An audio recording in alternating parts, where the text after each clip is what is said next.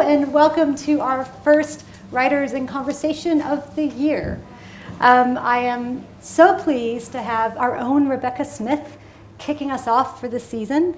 Um, Rebecca, as most of you, many of you know, is the author of three novels published by Bloomsbury. She's also written two nonfiction books about Jane Austen and writing, and she's written a children's book, What Does She Not Write? Um, as a teaching fellow in English here at Southampton, she's also my colleague and quite a wonderful one, I'll have you know. Um, Rebecca's three novels, The Bluebird Cafe, Happy Birthday and All That, and A Bit of Earth, are precise, close looks at contemporary life. They are still in print from Bloomsbury, which as an author I can tell you is quite a feat, um, and they'll be reissued next year. Rebecca has been a writer in residence at the Jane Austen House, and she's also a five times niece of Jane Austen. These connections led, to, led her to her two nonfiction books. The first, Jane Austen's Guide to Modern Life's Dilemmas, which, in addition to being published here, also came out in the USA, Canada, Germany, China, and Russia.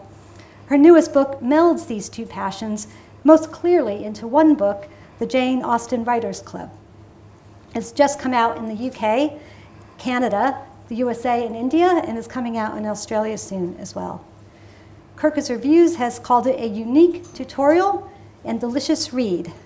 But one of the best quotes I've read of um, a review of Rebecca's books, and there are many, um, was one for one of her novels. The Independent said that Smith shares Jane Austen's clarity and gentle irony. So, Rebecca, with that, we would like to hear from the Jane Austen Writers Club. Well, thank you, Carol, and thank you so much. I'm going to just read you a tiny bit, first of all, just from the introduction to the Jane Austen Writers Club, which gives you a little bit of background to the book. Um, the book, it's, um, it's really a book about writing. It's a book about Jane Austen as a writer and about what um, we as writers can learn from her life and from her work. Um, and I'm just going to read you a little bit. Um, I should also say it's beautifully illustrated um, by Sarah J. Coleman, and the illustrations are probably the best bit. But, um, I've been following Jane Austen around for a long time. Like so many people, I was introduced to her work at school. Pride and Prejudice when I was 14, the perfect age. The school was in Dorking, or the town of Dee, as Jane Austen puts it in The Watsons. It was a short walk from Box Hill, site of the disastrous picnic in Emma. I didn't notice any Mr. Darcy's or Mr. Knightley's in Form 4A, but there were plenty of aspiring heroines like Catherine Morland. Pride and Prejudice was one of the first novels for adults that I fell in love with. It transported me from a world of boys who tortured wasps to Pemberley. I remember reading it in the garden of our house, which was in Reigate, not Dorking, in the company of a neighbour's disreputable frog-killing Ginger Tom. I called him Ginger George Wickham. I'm Jane Austen's five times great niece. It's a nice thing to be, but no claim to fame. Jane Austen's brothers had 33 children between them, so 200 years on, there must be thousands of Austen descendants.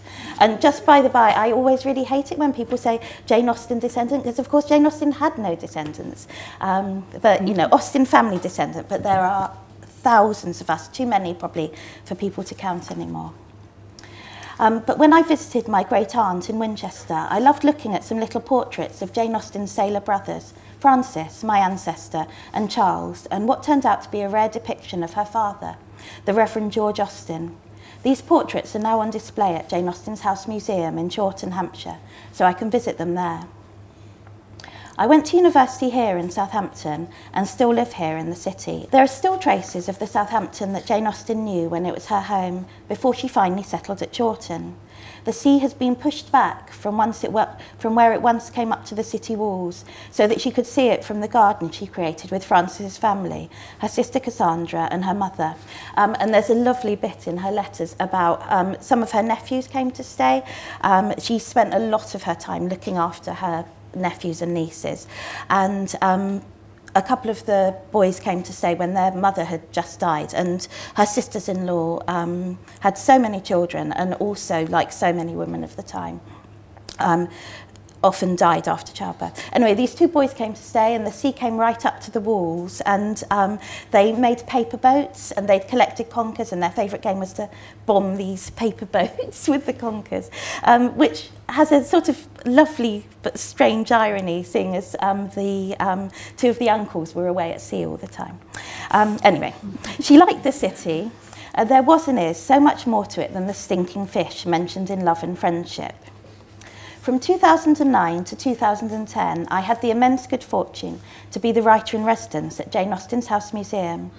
I reread all Jane's works and her letters and had a wonderful year with the staff and volunteers, talking to visitors, running writing workshops, visiting schools, generally getting lost in Austen and working on my fifth novel.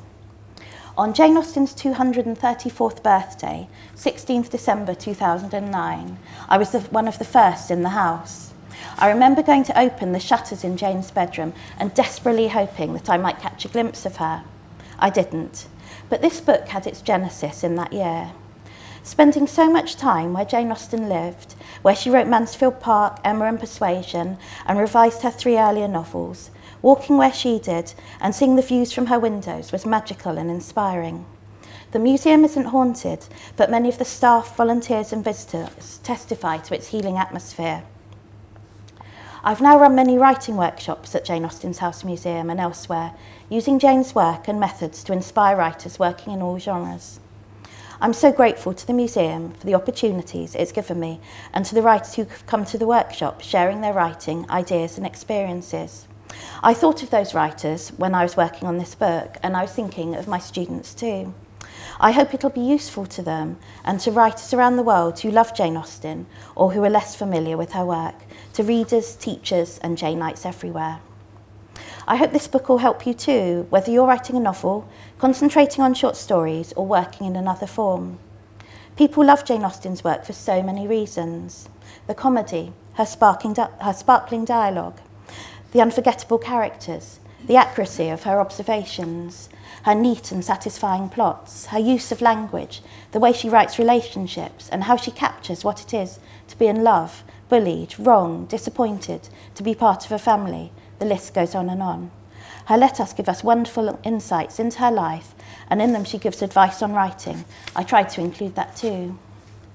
One of the most difficult aspects of writing the book was deciding which extracts to use and then having to limit their length. And I had lots of conversations with the um, kind editor at Bloomsbury saying um, how much we needed to keep cutting, keep cutting, keep cutting. And of course, I didn't want to cut anything, but of course, we couldn't have the entirety of her work in the book.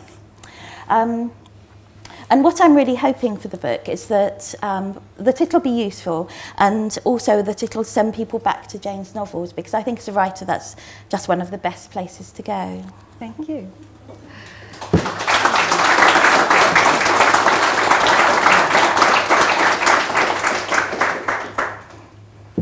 Thank you. Okay, so I know you're the great, great, great, great, great niece of Five, Jane Austen. yeah. Um, and you know, you can say lots of people um, are related to her in, in, the end. However, to an American, that's still impressive, I have to say. Um, but okay, but aside from that, why Jane? I mean, here you're a, a contemporary novelist. You write about current British life. Why Jane Austen? Um, well, she was one of the first writers whose work I really fell in love with, and um, I think that I was at an age when I was starting to really appreciate the way a really good novel for adults and the way novels work. Although I'd been lucky to grow up um, in a family that loved books and always been given lots of books, and my mum's a writer, and so um, it wasn't that reading was new to me, but I, I guess Pride and Prejudice really touched my heart and my mind as well, I suppose, in a, in a new way. Um, and I think the experience of studying it at school was actually very good too. Um, nowadays, when um, children are at school and, and as teenagers, there are very few novels that they actually study the whole thing of.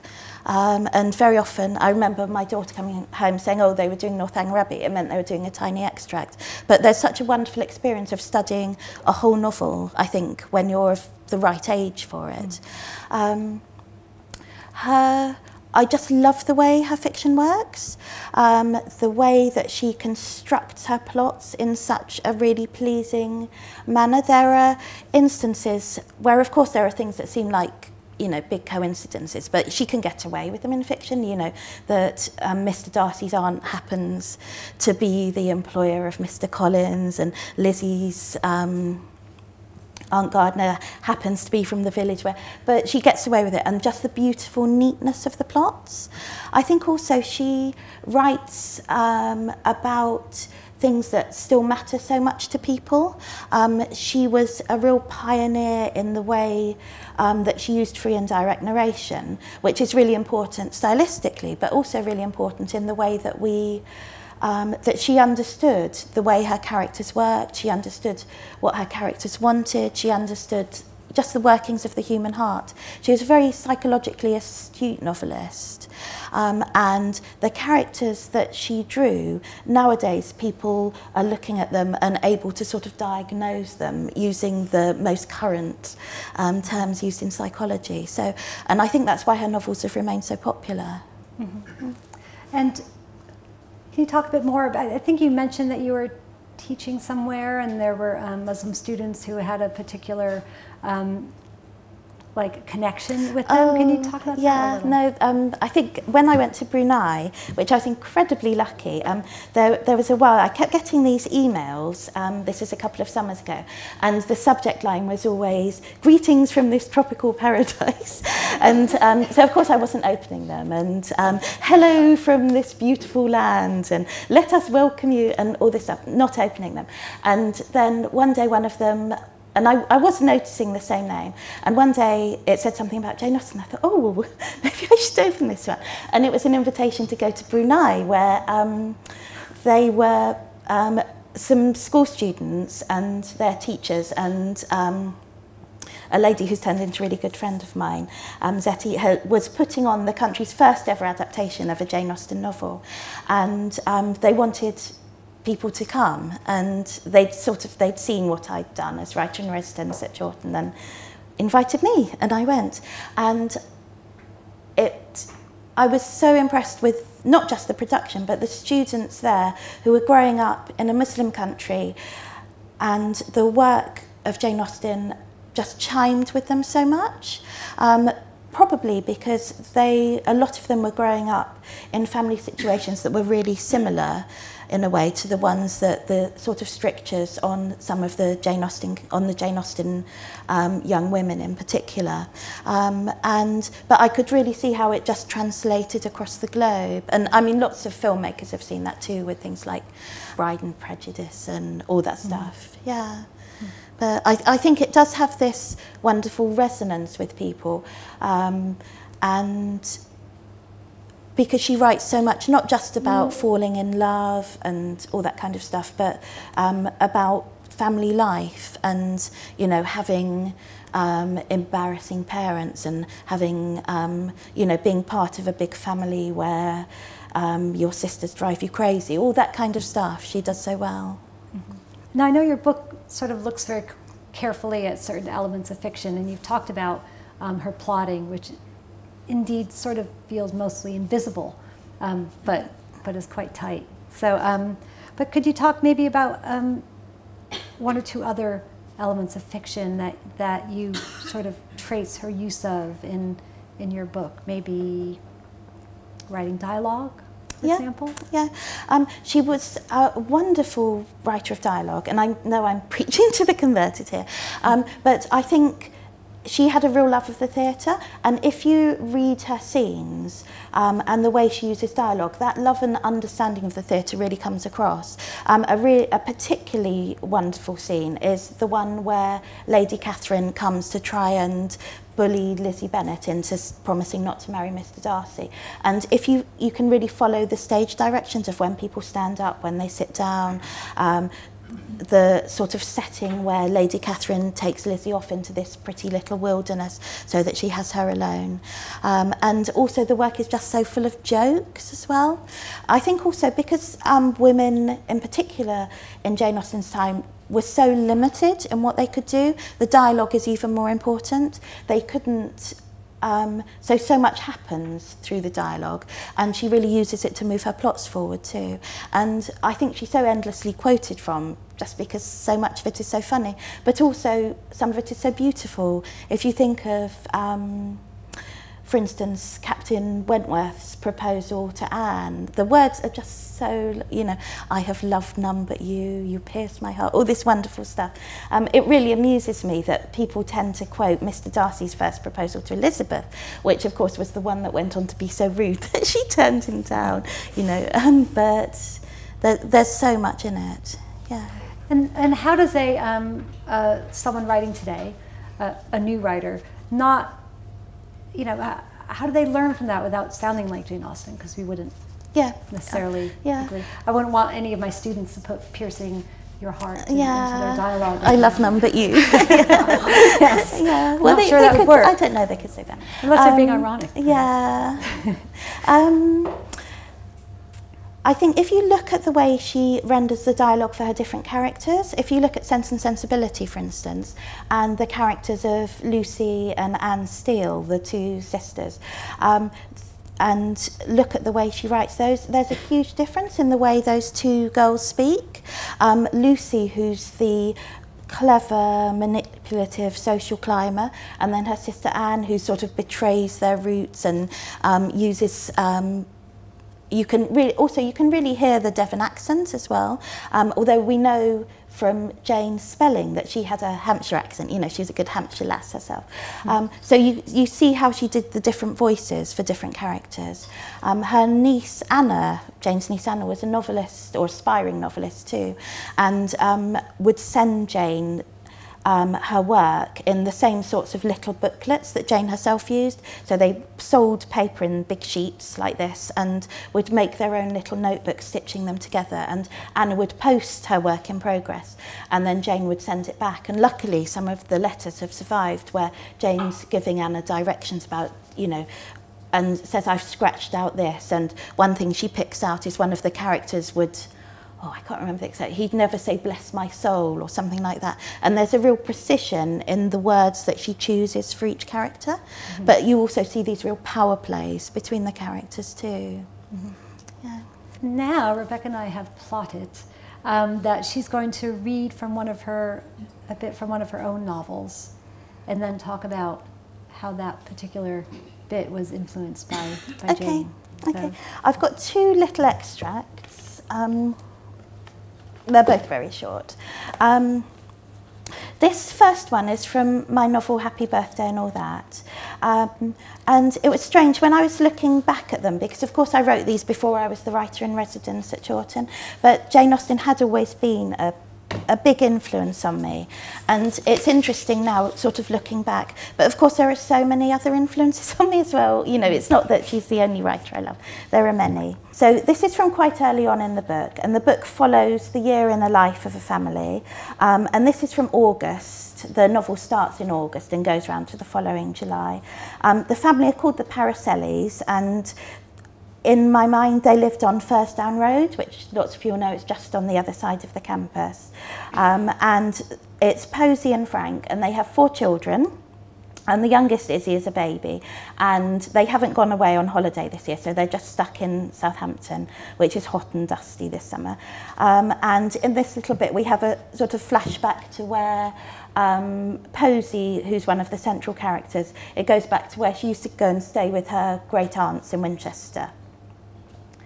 Um, the grass on the common was studded with cigarette butts and turning to yellow dust, but the Paracelli still went there nearly every day. They hadn't been away this year.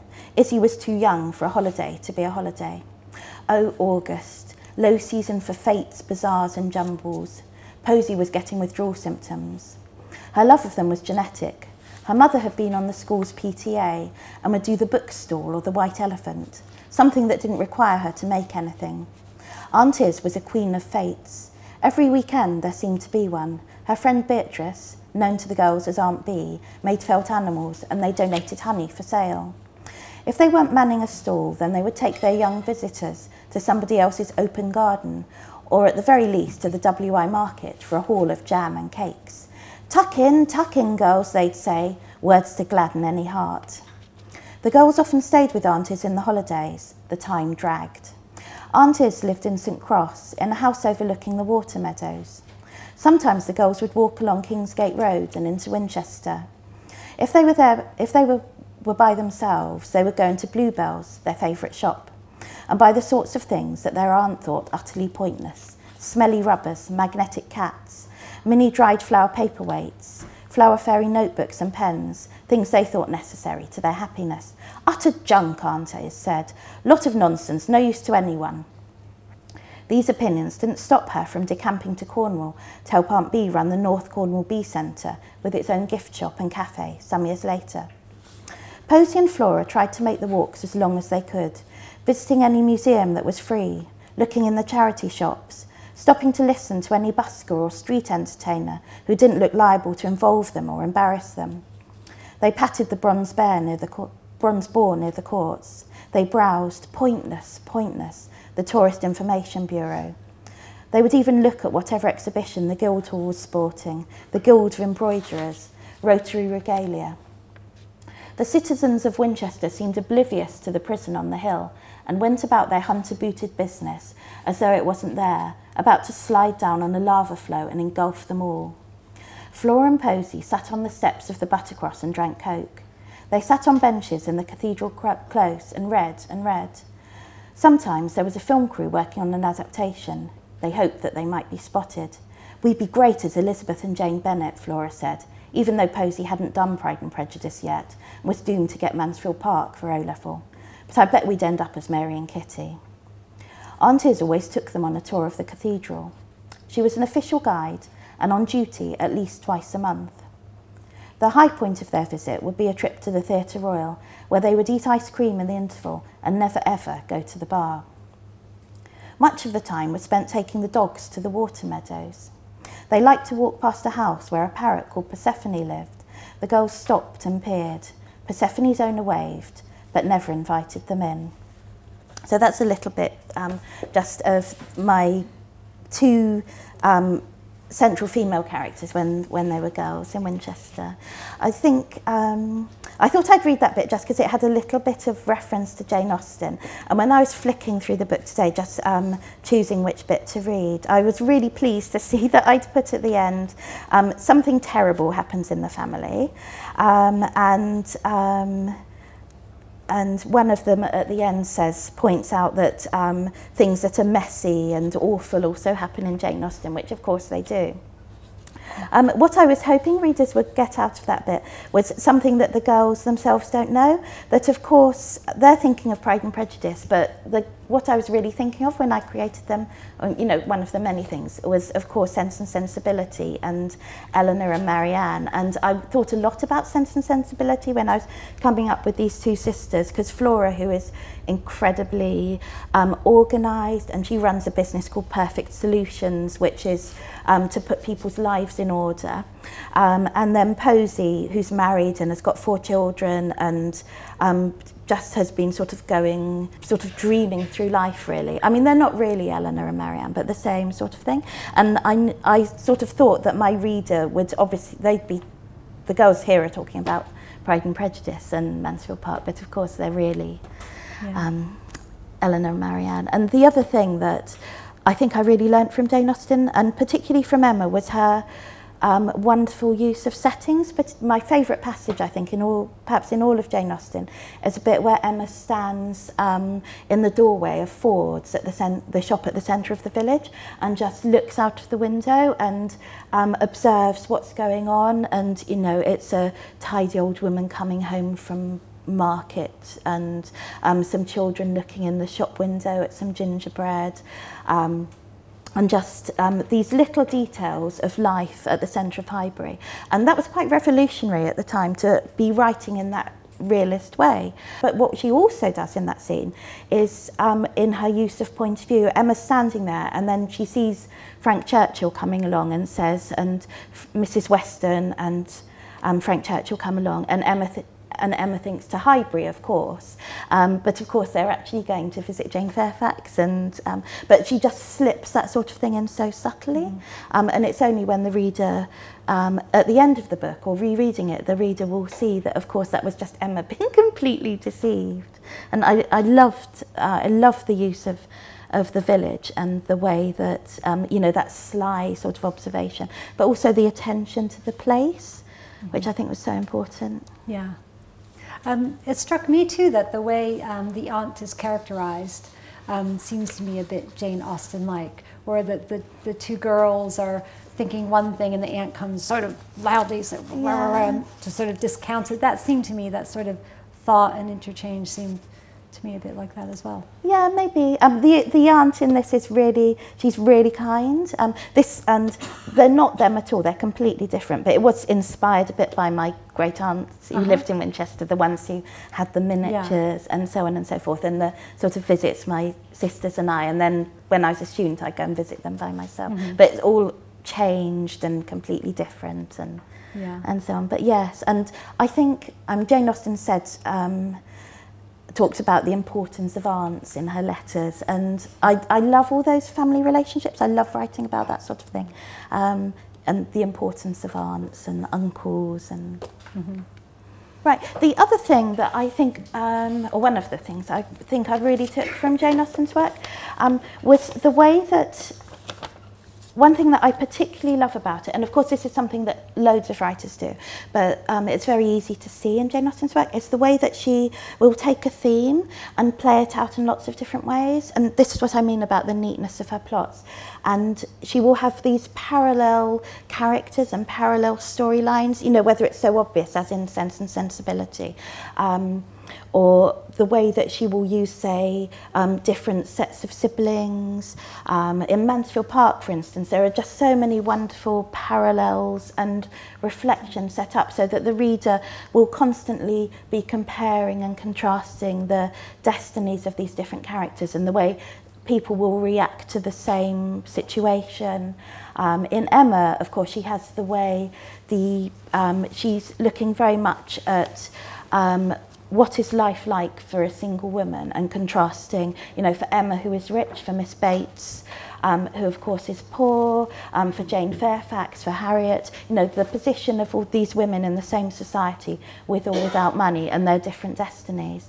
And I love the way she has these sort of matching pairs or something, sometimes trios of characters, so that it will be the way she looks at the cousins, say, in Mansfield Park, and the way she'll look at different siblings. And with Mansfield Park, she sets it up right from the very first paragraph, where she talks about Fanny Price's mother and her two aunts. And so just by establishing that from the very beginning, she's setting up these sort of wonderfully these sort of beautiful patterns really within her novels and I really love that. And I was going to, and this is, that's something that I, whether consciously or not, I, I guess I realise that I'm doing it, but I don't, I don't, it sort of happens. Um, but with um, A Bit of Earth, it's a novel that's really about loss and about grief.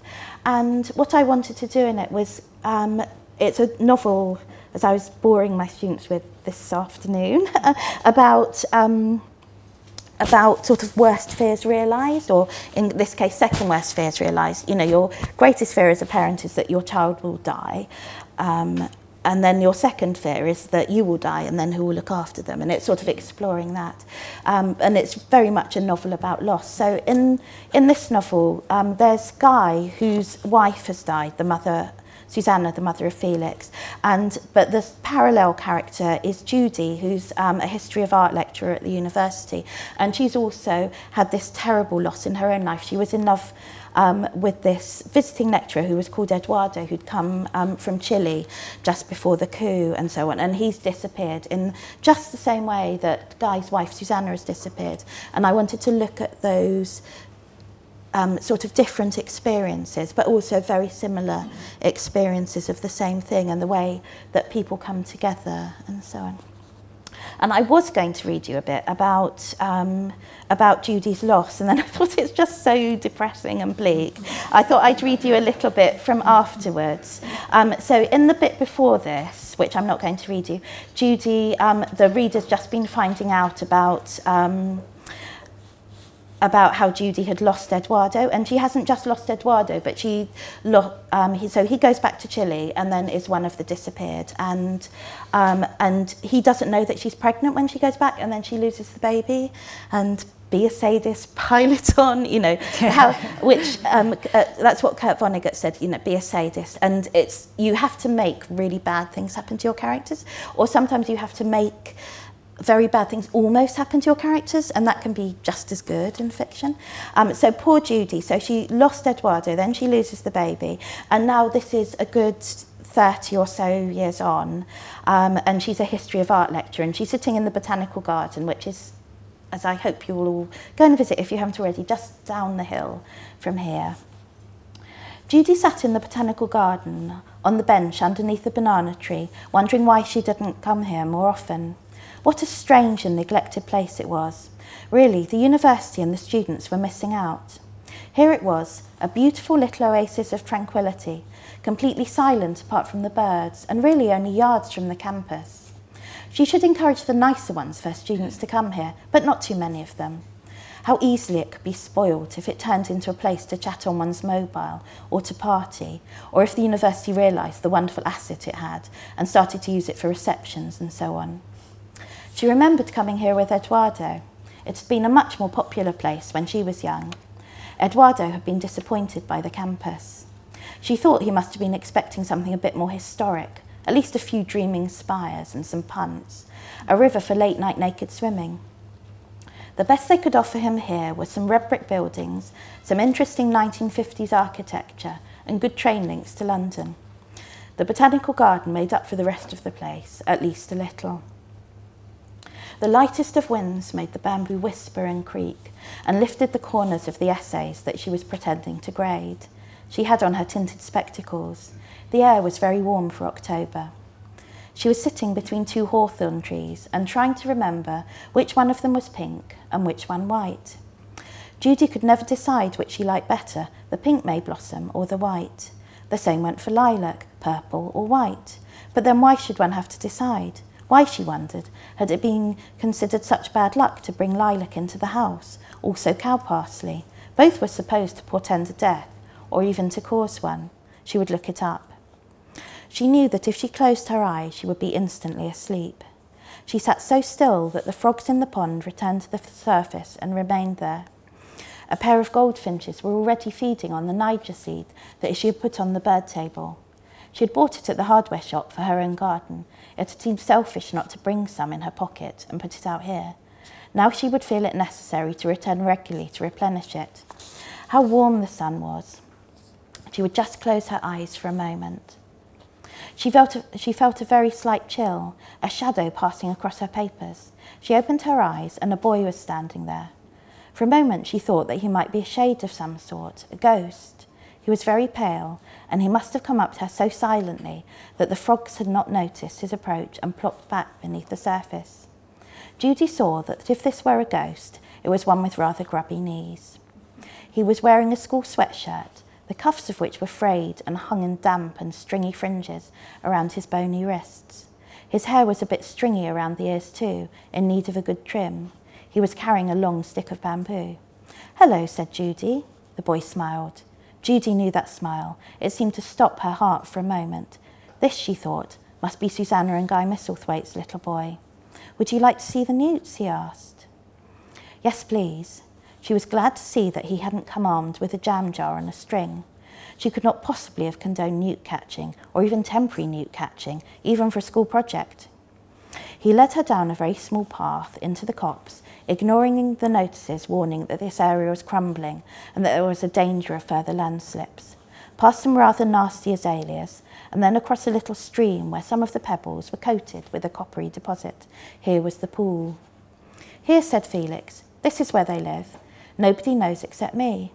Thank you, she whispered. I shan't tell anybody. You have to keep very still, and then you'll see them. They squatted down and kept very still. There were oak leaves in the pool, water boatmen, some unusual looking snails. She would have to look those up too. And there, with their tails looking as though they'd been snipped from some of the fallen oak leaves, were the newts. Wow, she whispered. I've never seen so many together before. Even my dad doesn't know they're here. I don't think anyone does. They watched in silence for a while as the newts went about their business. When I was a little girl, we sometimes had newts in a tank at school, but they're very rare now. I think we should leave them alone, don't you? Judy was very against the modern practice known as pond dipping, whereby children were encouraged to scoop out anything they could, plonk it in some shallow plastic tray where the water temperature would quickly rise beyond that of the pond, leave the creatures there for as long as they like to be prodded and remarked upon, and then perhaps tip the water and most of, most of its inhabitants back. Who knew what tinies might be left behind, their element evaporating forever? He who torments the chafer's sprite weaves a bower in endless night, she told herself. I'm not going to catch them, said Felix. Neither am I. They watched the newts for some more minutes. I've seen you in the garden before, Felix told her.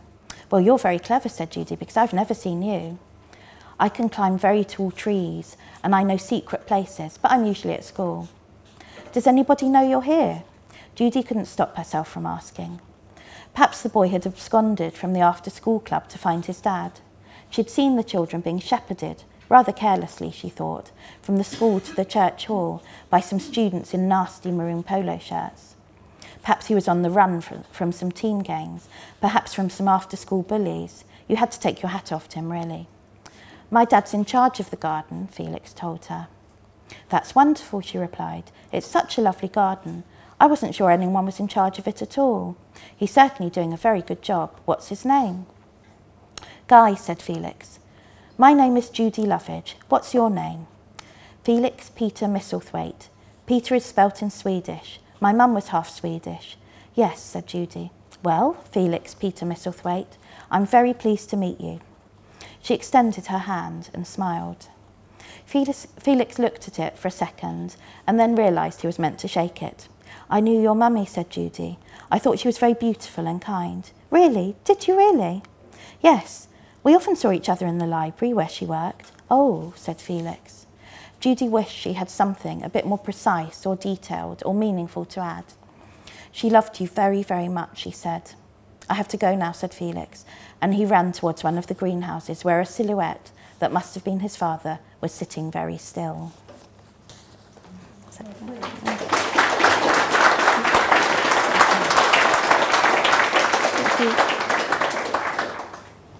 This is our last Jane Austen question. We're going to ask you one mm. question. So, what, what, what were you taking from from her with that? Was that the idea of those like parallel stories? yeah, yeah, sort of yeah, yeah. Those sort of parallel plot lines, and I think also the point of view thing. But people I've sometimes been into schools and um, had students say to me, of course, Jane Austen hated children, but of course she didn't. But she was very good at writing very badly behaved children. Um, so I guess that's a difference for me because I wanted to have Felix as this central character um, who everything in the book really revolves around him and it's he who um, he doesn't intend to, but he does, who's bringing people together. And it's his future that's so important in the book. And Guy is a bit of a, he's a dreadful person to have as a hero if you follow things like the hero story, because he's so um, inactive and it takes him almost the whole book to just wake up um, and realise what he should be doing. Um, but of course, he's grief stricken too. Um, so I guess that was something different I was doing as well. Yeah. Can you talk about when you know you have a story in your head that's going to become a novel? Um, I think all writers have false starts, and that's fine. Um, I, one of the novels that I was sort of meaning to write but haven't was to there were uh, there's a couple of very minor characters in um, have what's it called a bit of earth two of the students and they're going off to um, Seattle at the end of the book and I wanted to follow them and I was going to take them to Alaska which is another place I've always wanted to go to but somehow I never have. And I think writers do you sort of have ideas and think oh that would make quite a good novel and somehow you don't write it. Um, I think that was what happened to Jane Austen with the Watsons. You you you know, maybe a better idea comes along. Um, I think the ideas for the ones that will really turn into the novel, the ones that just stay with you and sort of nag at you and you just feel compelled to write that story and even if it takes you a long time. Um, but of course it changes a lot as you're working. So what starts out as being a novel about one thing will easily become a novel that's actually about something else and characters that you don't have at the beginning might come in and um, become much more central characters. Uh, can I ask another Jane Austen question? Mm -hmm. uh, what do you think are Jane Austen's uh, weaknesses and limitations as a writer? Um, well, I have to say, first of all, that I'm not, like so many of my colleagues, a proper academic Austen expert, and I'm just coming at this as a writer and enthusiast. Um, I think she, but I don't, first of all, I don't think you should expect one writer to be everything and to do everything perfectly because they're just one individual. Um, so you can't, you know, a writer might, you might think, oh, why didn't she write about this? Why didn't she write about that?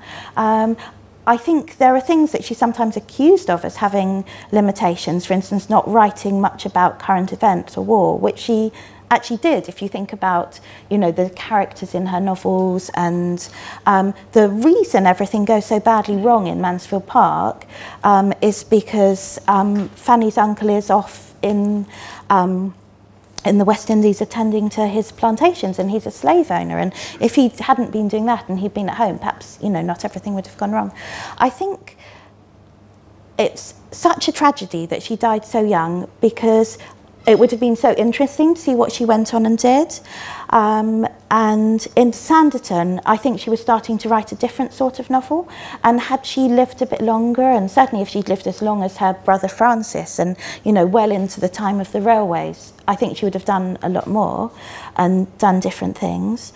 Um, I think Emma as a character, who I love as a character, but she is pretty impressive for a 21 year old. Um, and perhaps she's sort of Jane Austen herself um, in the body of, uh, of a much younger person. I don't, what do you think? I, I don't know. Yeah, yeah, yeah. So invested in her work. Yeah, yeah. Because I'm, I'm not. Yeah. Oh right. Yeah, yeah. Um, I think as a writer, and this is something Jane herself would say, um, you, there's her famous defence of the novel in Northanger Abbey, and she says, you know, if we writers don't stand up for each other, who will? Um, so I don't actually like pointing out shortcomings in other writers' work. Um, I've been asked to do this podcast where you have to talk about two books that you love and one book that you hate, and that's giving me real problems. I can think of some books that I hate, but I don't, I don't particularly want to go on the record talking about a book that I hate, although I have got one in mind.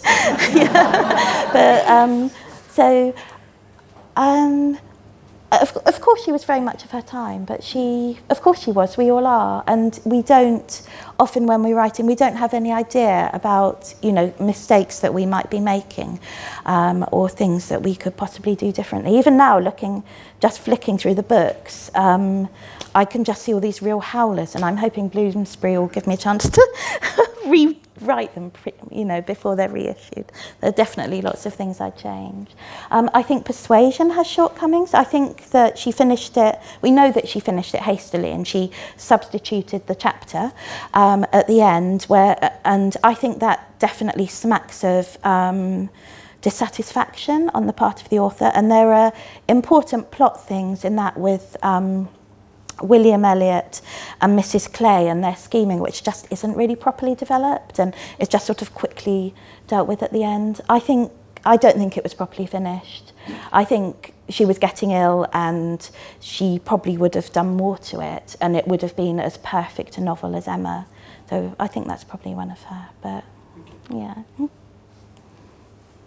question? Yeah. Um, you mentioned earlier that in a bit of Earth set it all outside. So um, why did you make that decision? Um, I didn't quite manage to do it all outside in the end, but what happened was my second novel, um, Happy Birthday and all that, um, it's so terrible that women are often criticised for writing domestic novels and then a man writes a novel that's all about family life and no one bats an eyelid. Um, but I suppose that I was conscious of having done this very domestic novel, but I love writing about families, you know, why not? Um, but I did want to do, I wanted to sort of do something really different. So I thought, okay, maybe what I'll do is just have it completely outside. Um, and I was thinking a lot about gardens and thinking, um, a lot about A Midsummer Night's Dream as well. And when I started writing it, I was going to make it much more equivalent in a way the, the plot works to A Midsummer Night's Dream. But um, actually, another writer, a book came out doing that just as I, not set in Southampton in Italy, um, while I was working on it. So I kind of scrapped that idea. But the Midsummer Night's Dream carried, thing carried on being really important. Um, so I think I just wanted to have the sort of theatre of the garden and um, and just sort of think about what could happen in just this really small bit of earth really. And I think I was also thinking about, I did biology A level, and one of the things I really loved was when we went on field trips, and I expect lots of you did the same, and you have these sort of quadrant things, and you sort of throw it down, and then you have to count how many limpets are in it, and how many this, and how many that, and you're just sort of looking at what's in this little square. Um, there are these artists I love, um, the Boyle family, who I think I've been thinking about as well. And they did the same sort of random thing of throwing down these, you know, sort of putting a pin in a map and going see what happens here. And I think as a writer, it's that um, just wanting to examine one place really closely and sort of imagine what can happen in that one place. Um, but I do love outdoors. For someone who loves gardens, I'm actually a very bad gardener with, um, and a very lazy gardener, but I like writing about them. um, did you, how do you, that, we're talking about your novels, but then you, just published a nonfiction book. Is, is there a different process for you in, in writing nonfiction versus fiction? Um, sort of yes and no. Um, non-fiction is easier, that is absolutely certain. Um, and I, I'm sure students will find the same. You know, if you've got to write or maybe not. If you've got to write an essay and it's got to do very particular things in a very particular word limit, somehow that seems easier to me. Um, and in a way, this book was, it was easy to write because I'd already done lots of workshops and I kind of knew the stuff that I was using. Um, whereas with fiction, the decisions that you're making are often much harder to make. And you will, I think you can feel more, much more certain of what you're doing with nonfiction. There's fewer, yeah. Um, there's many more possibilities with fiction. Yeah, exactly. do anything. Yeah. yeah. And um, where, where nonfiction, you do sort of, there's more of a structure. Yeah, yeah. And I sort of knew with the, um, with the latest Jane book that I, you know, I wanted to cover certain bases and I wanted to make sure that I was doing enough about character and within character I wanted to write about how she uses clothes and how she does this and how she does that. Um, whereas with fiction it's much more um, of this step into the unknown, although I'll often know the ending of a story before I write it. Um, apart from my first novel, I think I've always, I always seem to know the endings now, and that does make it much easier. But you have no idea how you're actually going to get to that place. Yeah. it's, a, it's a long journey from mm. knowing the ending to getting to yeah. the ending. Yeah, yeah. Um, other questions? Yes. In the Jane Austen Writers Club, you give lots of wonderful advice, um, sort of permeating from the great lady herself. Was there any advice as a writer that, although you can give it, is actually quite hard to follow itself? all of it? Yeah, all of it. yeah. Um, I think the hardest advice to follow is always, for me, the advice about working habits and so on. Um, I actually used to be more disciplined, I think, a few years ago when my children were younger, and I had less time in terms of getting up early. Um, but now, when actually it would be easier to, I don't. So I'm, I'm not nearly as disciplined as I should be about. I mean, I, I tend to get stuff done in the end, but I think I do feel I could get a lot more done than I do. Um, but I hope, I hope the advice is all sound advice. I think all writers, um, you know, don't, you know, I think no one ever feels that they're doing enough or that they're working hard enough. And that's the terrible thing about a life. I mean, it's a wonderful, and I'm really lucky, but a life where your life is your work and your work is your life. Um, and you realise that your working life um, just impinges on your family life. And um, so even when you go on holiday, you love to write, but really, you, you know, it's, it's, a, it's a tricky sort of way of leading a life, but a very nice one as well. Yeah. I find your fiction very emotional, um, Rebecca, and Oh. I wondered what emotions you are feeling when you're writing. For example, if you're writing a scene which has a lot of um, sadness in it, are you experiencing the sadness yourself, or are you very detached from it? Um, I'm really sorry. I didn't actually realise people were sitting there, and I've just talked with my back to you the whole time. I'm really sorry. I hadn't quite twigged that there were people right there. I'm really sorry. Um, I, some of it I do. Um, so I try not to do it too completely cynically. Um, the bit where there's a bit in the book where Felix um, in a bit of earth where he's doing all these things to try and make his mum come back and I was um, and I did get quite upset when I was doing that because I think I was writing the book because I was thinking you know thinking about you know just how awful it would be you know, for a child without their mother and, you know, what it would be like for my kids and sort of imagining the awful, um, maybe there, there's one here, maybe he'd be pleased, I don't know, um, but um, the awfulness of that situation. So I do get quite, you know, I'm sort of, but I think there's also something really horrible about writers in that um, you, you're doing it for effect, aren't you? And you, you, if people tell me that they cried and cried, I'm pleased because that's what I wanted it to do. Um, so you want it to work, but I'd, you wouldn't do it unless you were. Um, unless you really cared about it. Um, Rebecca West said the tosh horse is never ridden tongue in cheek. And um, I think that whatever kind of writing you do, you have to really care about it and really believe in it. Um, you know, whether you're writing romances or um, literary fiction or historical or whatever it is. So sort of both. But I think, so probably you'd be really upset when you were actually, well, not really upset because obviously you're writing it, but you'd be sort of feeling the feelings more as you're imagining the scene and then writing it. Um, but then you step back with your steely editors. I know you know what it's like, Tamar, as well. Um, you just step back and um, do everything you can to then just make that as effective as possible.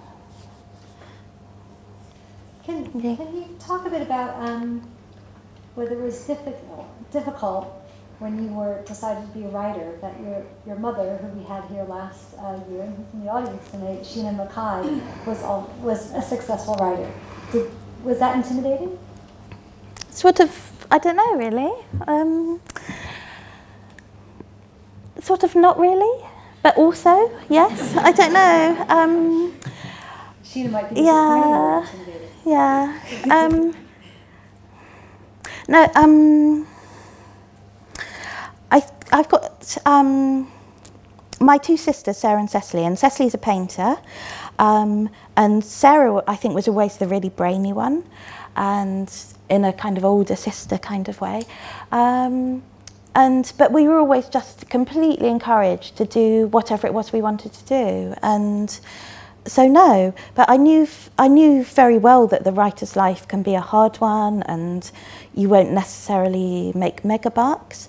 But I absolutely loved growing up with a mum for a writer, and still love having a mum for a writer. And when I came away to university, I really missed the sound of the typewriter keys as it then was, and um, and of course completely adore her work and know and could never what is intimidating is I know I could never write like that but I just have to accept that because um, Shena, my mother's work is so beautiful and so lyrical, and she writes such fabulous short stories that I could never write.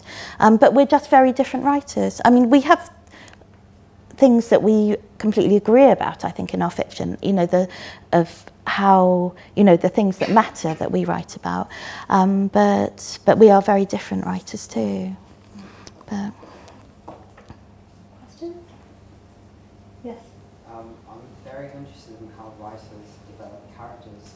So I wanted to know how much of perhaps yourself is imbued in the characters you write about, as in whether characters who are perha- perhaps a direct reflection of you or people you may have known for years gone by, and whether or not that was a conscious decision or something that just came about subconsciously.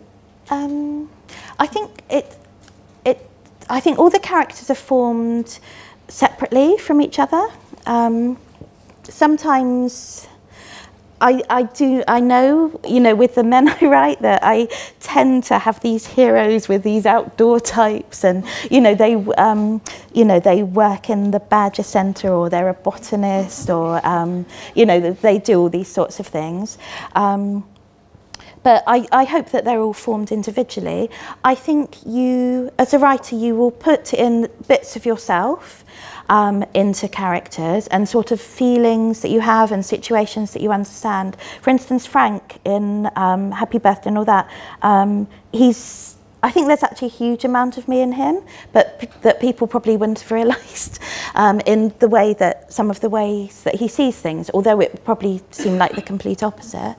Um, I think a lot of it is also observation and the little things that you notice about people. Guy, who's the central character in A Bit of Earth, um, he started to form in my mind when I just met a friend in the street and just noticed what his eyebrows looked like and, it, and that they just looked like these etiolated little seedlings that had been left too long on a windowsill. And and the character of Guy sort of started to grow up from seeing my friend's eyebrows. Um, but and then years later, well, a few years later, after I'd finished it, I was talking to um, a girl I met who'd been to my old school, but years later, was younger than me. And my favourite biology teacher was still there. And I just suddenly thought, Mr. Grundy. and I realised I'd, ba- without even thinking of it, I'd put a lot of this nice biology teacher, Mr. Grundy, into, into my character guy. And I just hadn't even realised. Um, I think I know I tend to give characters interests that uh, you sort of explore other lives with your characters.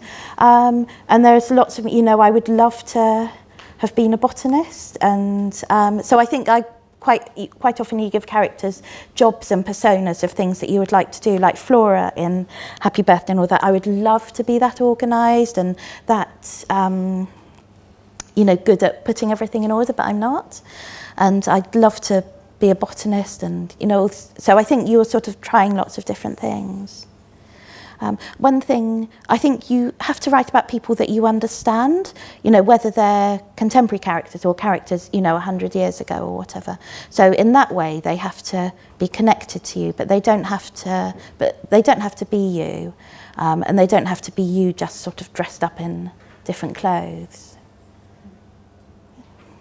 If anything, I think I, I worry that all my characters are too much like me. Constantly changing things just in case. Yeah, yeah. But maybe they, Maybe I don't not, know. Yeah. And does it matter if they are? It probably doesn't matter. I don't know. As, as, as long as um, for each story they're convincingly there, then, and that they work together as a good, useful cast, I don't think, I don't think it really matters. Other questions? Can you finish up with simply, maybe you could talk about other writers aside from Jane Austen Yeah. who have been influential to you? Yeah.